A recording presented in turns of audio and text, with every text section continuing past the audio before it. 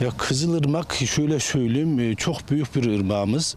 E, Kızılırmak şöyle e, kar olmadığı için, yağmurlar, sular olmadığı için mecbur otlar büyüyecek. İklim değişti.